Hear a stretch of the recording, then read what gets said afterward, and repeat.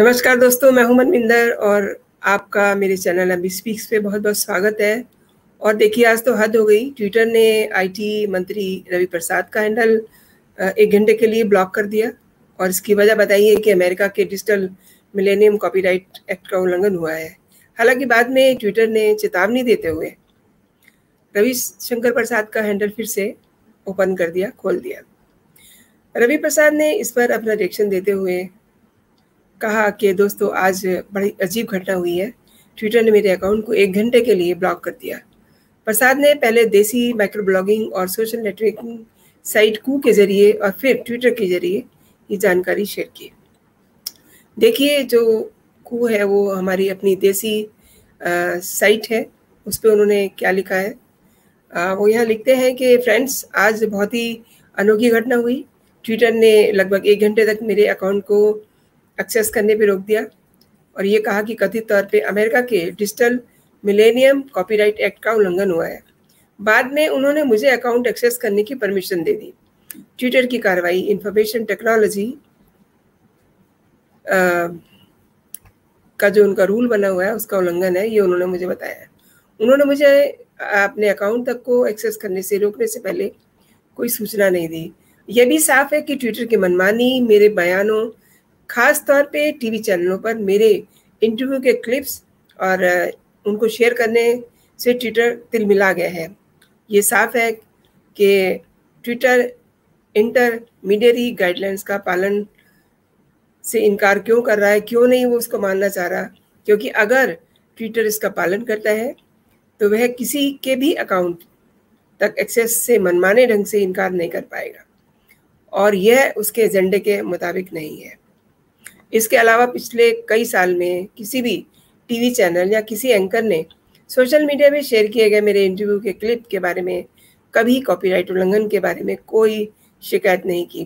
Twitter के इस कदम से ये संकेत मिलता है कि वे फ्री स्पीच के हिमायती नहीं है, जिसका वो दावा करते हैं। वे सिर्फ़ अपना एजेंडा चलाने में रुचि रखते हैं। इस धमकी के साथ कि यदि उनकी खींची गई रेखा का पालन नहीं हुआ तो वे आपको अपने प्लेटफॉर्म से हटा देंगे। कोई भी प्लेटफॉर्म हो, क्या फ़र्क पड़ता है? उन्हें नए आईटी नियमों को पूरी तरह से पालन करना होगा और उस पर कोई समझौता नहीं होगा। अब ये भी जान लीजिए कि डिजिटल मिलेनियम कॉपीराइट एक्ट क्या है? Digital millennium copyright act America का कॉपीराइट एक्ट है।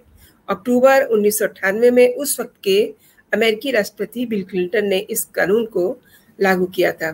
क्लिंटन ने तब कहा था कि इस कानून को बनाने का मकसद किसी कंटेंट को चोरी होने से बचाना है। चोरी होने पर आरोपी के खिलाफ कार्रवाई करने में ये मदद करता है। इसके तहत सभी तरह के डिजिटल प्रोडक्ट्स जैसे ऑडियो वीडियो टेक्स्ट और कंटेंट आते हैं। ज़्यादातर ब्लॉगिंग लिखने वाले या कंटेंट क्रिएटर अपने कंटेंट को प्रोटेक्ट करने के लिए इस कानून का सहारा लेते हैं। यदि कोई व्यक्ति बिना परमिशन किसी के कंटेंट की कॉपी करता है तो उस पर शिकायत की जा सकती है। आईटी मंत्री सोशल मीडिया कंपनी की इस कार्रवाई जो उनके ऊपर कार्रवाई की गई है, जो उनका एक घंटे के लिए अकाउंट ब्लॉक किया गया है, वो ऐसे समय में आई है जब केंद्र सरकार और ट्विटर के बीच में नए आईटी नियमों को लेकर के काफ़ी बड़ा विवाद चल रहा है। इस मामले में पिछले हफ़्ते आईटी मिनिस्ट्री से जुड़ी संसदीय समिति के सामने ट्विटर के प्रतिनिधियों की पेशी हुई थी।